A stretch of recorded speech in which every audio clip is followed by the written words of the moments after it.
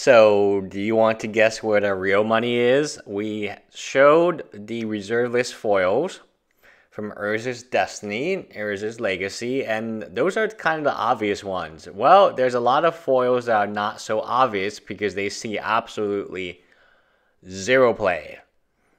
And we'll take a look at Phyrexian Negator, which at one time was the strongest black creature you could have. It emphasized black, where Yes, you get a 5-5 trample, but every time it is dealt damage, you sacrifice a permanent for every one damage. Therefore, the opponent could lightning bolt this, and you would have to sacrifice either all your lands or some combination of this card and your lands. But normally, it was fast enough it could beat your opponent. So it is a 76 cent foil that, or 76 cent non foil that no one wants it's a $75 foil. So the discrepancy between the how cheap the regular copy is and how expensive the foil copy is is strictly due to it being on the reserve list. That's enough. That is enough. Now, moving on to the next card, we have another card from Urza Legacy, which is a $150 foil and a 42 cent non foil. The card is not very good. I mean, yes, when Icy Manipulator was considered one of the best cards in Magic, yeah, this was playable. But the difference here is no one really knows that the Ring Ring of Gix foil is $150. Just like no one could figure out Negator is $80, $90. It is very likely that the people who currently own this card have no idea that they are looking at $100 bills. And the reason being is no one really would trade for it. Would you ever trade for this ring of Gix for $150 that sees semi limited EDH play? No, it's not worth it. For $150, you can buy a lot more, right, with your money. But hey, this is what it's worth. This is kind of a nice showpiece if you know what it is and I like it. I mean, I I like these old school cards, and if you're lucky enough to run into them or own them, then more power to you. Because at the end of the day, these were not cards considered highly in demand, uh, and in fact, they would probably be cards you would never even put in your binder because who would want them? All right. Next, we go to Inkmoth Nexus, which the foil is $81. So this is a pretty big multiplier Anytime you see a multiplier of over 400%, it means the card is very interesting from a speculation standpoint. Obviously, it is in the Infect deck. Um, it's also in Affinity. It's another win mechanic for the Affinity deck. So it's in two very strong modern decks that are played by a ton of people. So its playability is high. The foil price is pretty crazy. If I were to predict, I would predict that the card would be reprinted very soon and maybe a core set with Infect. Infect always felt like it's a Phyrexian mechanic, but the first time we saw the Phyrexia, they didn't have Infect. Right? We saw them in Urza Saga, and they didn't really have Infect, but it makes perfect sense because they're trying to infect you. The second time we saw them in New Phyrexia, that's when Infect became a mechanic. So guess where we're going back? We're going back to the original planes where they tried to infect.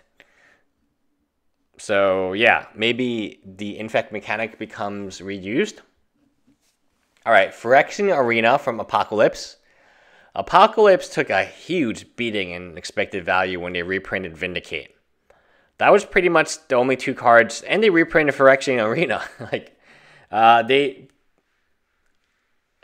I will talk briefly about the fact they just don't really give a damn about reprints. And that's very concerning if you believe your modern collection has any value.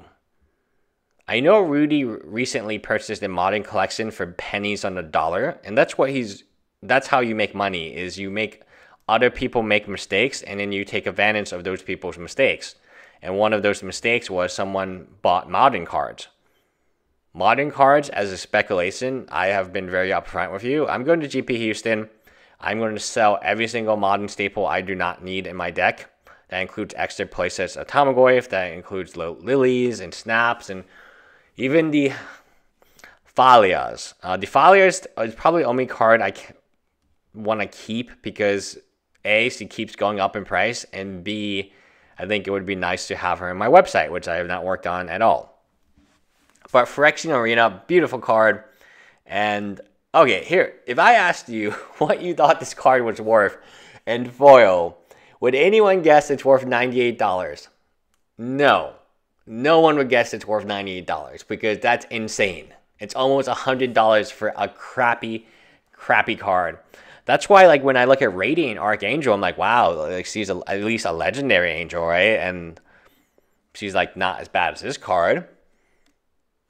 It is fascinating, some of the cards that in reserve list and foil that what they are worth today. For no other purpose than collectability, good memories of this card. This card was played back in the day, and as was Ring of Gix, and they were good cards. I mean, that's what we did. We tapped stuff and we played dragons.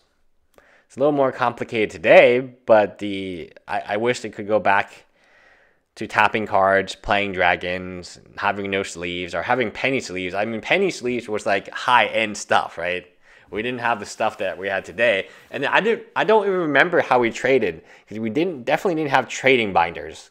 Uh, we probably just put them in boxed. Oh, we did have. We had the we had the baseball collect. Everyone had the same binder, and we also had these starter binders, like you know these starter like school binders, and you would put like the pay. Okay, so we didn't have binder binders like Monster and stuff that we have now.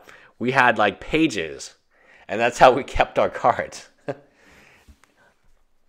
So Coalition Relic and foil original copy is $78. 79 let's call it 79